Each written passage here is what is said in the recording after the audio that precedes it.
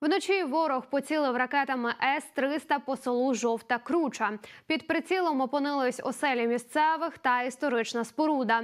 Поряд із ними утворилось дві великі вирви. За попередньою інформацією, ніхто з людей не постраждав.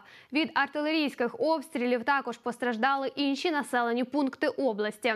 Зокрема, і селище Мала Токмачка, де внаслідок поранення загинула літня жінка. Тим часом, за інформацією генштабу, окупанти використовують медичні та санаторно-курортні заклади на тимчасово окупованих територіях України для лікування поранених рашистів. У місті Мелітополь у якості військового шпиталю використовується приміщення дитячого санаторію. Для надання медичної допомоги залучається медичний персонал з Російської Федерації. Завдяки вдалій роботі запорізьких оборонців у Мелітополі втомився міст, що з'єднував районний центр із селом Костянтинівка.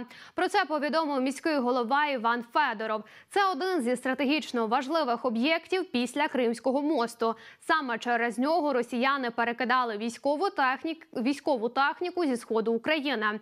Впродовж останніх кількох днів ЗСУ також знищили понад 10 баз противника в регіоні. У неділю ліквідували дві захоплену окупантами школу в селі Майська та підприємство в Пологах. Найбільше уражень у Мелітопольському районі. Перше це блокпост в Новобогданівці, яка знаходиться в 20 кілометрах від міста Мелітополя. Там було знищено весь особовий склад рашистів на цьому блокпості. Друге, що сталося в них, це також біля міста Мелітополя, буквально в кілометрі, і була знищена майже повністю радіолокаційна станція. І третє, що сталося, це сталося е, на е, території готельно-ресторанного комплексу.